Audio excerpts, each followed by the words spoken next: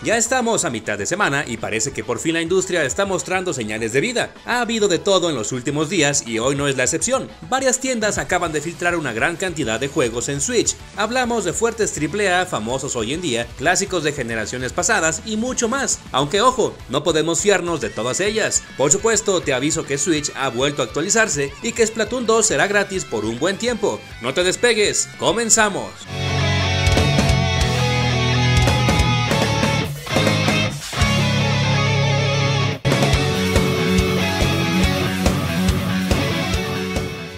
Demos inicio al capítulo con las ventas en Reino Unido. Después del avasallante rendimiento de Animal Crossing en los últimos meses, un viejo conocido de la industria ha vuelto a tomar el liderato del top. Por supuesto, hablamos de FIFA 20, juego que mandó al segundo lugar al reciente lanzamiento de Nintendo. El top 5 lo cierran Call of Duty Modern Warfare, Final Fantasy VII Remake y Star Wars Jedi Fallen Order. Lo sorprendente es que Mario Kart 8 Deluxe sigue inamovible en el top y que Ring Fit Adventure y Luigi's Mansion 3 regresaron a la lista de los 10 más vendidos. ¿Qué te parece? Y en otras noticias, por cierto buenas para los que gustan de jugar con amigos, Nintendo acaba de anunciar un especial y gran demo de Splatoon 2. Lo que sucede es que todos podremos jugar totalmente gratis los modos territoriales, las batallas rankeadas, Salmon Run y mucho más a partir del 29 de abril y hasta el 6 de mayo. Por cierto, durante este tiempo, el juego completo contará con descuento en la eShop. Por último, te recuerdo que la actualización 5.2.0 ya está disponible y que habrá un nuevo Splatfest en mayo dedicado a la mayonesa y a katsu. Cuéntame si lo jugarás.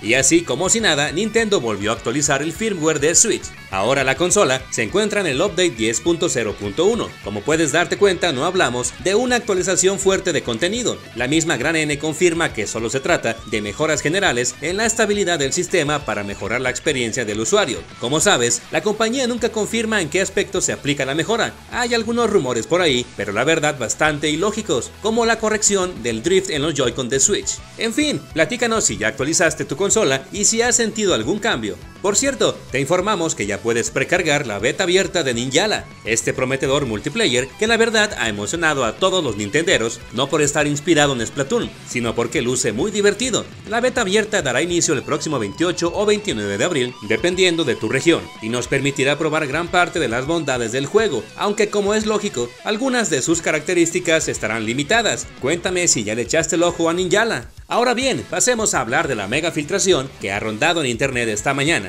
La noticia dice que muchos juegos importantes acaban de ser listados en diferentes páginas web. El más espectacular de todos ellos sería sin duda Resident Evil 3 Remake. La cosa es que no podemos tomarlo muy en serio, pues el listado apareció en la tienda Instant Gaming, tienda muy conocida por subir a su sistema las fichas de juegos años antes de que siquiera exista algún anuncio oficial. Tal es el caso de Metroid Prime Trilogy. Digamos que la tienda lista juegos en base a los rumores que hay por internet.